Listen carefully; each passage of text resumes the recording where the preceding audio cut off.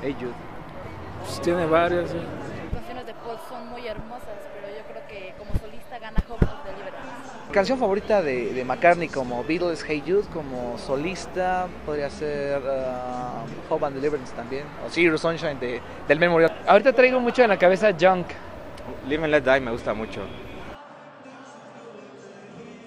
Como a las 8 o 9 de la mañana. Eh, a las 8 de la mañana. Este, tengo un amigo aquí que vive cerca. Pues ayer se quedó en la noche mi hermana y este yo llegué hoy en la mañana. Nos vamos a quedar a acampar y todo, a esperar, con todo de lluvia y viento y todo eso.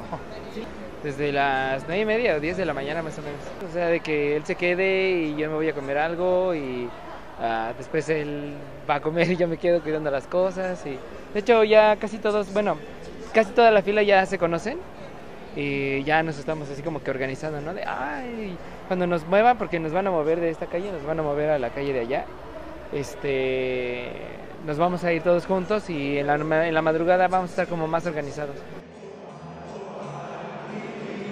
Y yo lo que les comentaba era de que es bueno porque le da imagen al Distrito Federal, ¿no? Le da eh, una buena referencia cultural Está perfecto.